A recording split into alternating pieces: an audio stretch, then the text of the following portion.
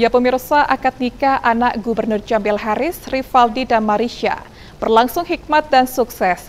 Kedua mempelai memilih menggunakan pakaian adat desa Muara Madras, Kecamatan Jangkat, Kabupaten Merangin, yang mengingatkan bahwasannya dulu Al Haris menggunakan pakaian adat serupa saat menikah.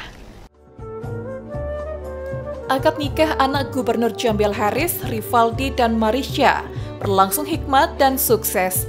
Akad nikah digelar di Masjid Al-Asab Niaso, Desa Bakung, Kecamatan Marosepo, Kabupaten Muaro Jambi, pada Jumat pagi 17 Mei 2024. Ijab kabul dari Rivaldi berlangsung lancar sekitar pukul 9.50 waktu Indonesia Barat. Kedua mempelai menggunakan pakaian adat desa Muara Madras, Kecamatan Jangkat, Kabupaten Merangin. Pernikahan Muhammad Rivaldi dan Marisha Putri dipimpin KUA Kecamatan Sataria SAG dengan wali nikah mempelai perempuan Muhammad Bintang yang merupakan adik kandung mempelai perempuan. Adapun saksi pernikahan Rivaldi dan Marisha diamanahkan kepada Ketua DPRD Provinsi Jambi Edi Purwanto dan Kapolda Jambi Irjen Pol Dr. Andos Rusdi Hartono. Turut hadir menyaksikan proses akad nikah Wakil Gubernur Jambi Abdullah Sani, Sekda Provinsi Jambi Sudirman, Ketua Lembaga Adat Melayu atau LAM Jambi Hasan Bastri Agus, Wali Kota Sungai Penuh PJ Bupati Muaro Jambi, PJ Bupati Kerinci, PJ Bupati Sarolangun, PJ Wali Kota Jambi, dan PJ Bupati Merangin.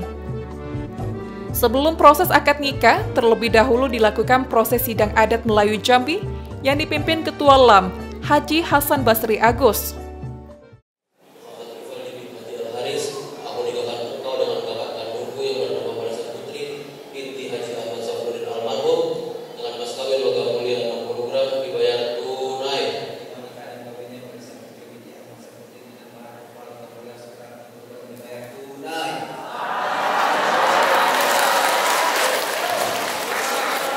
de la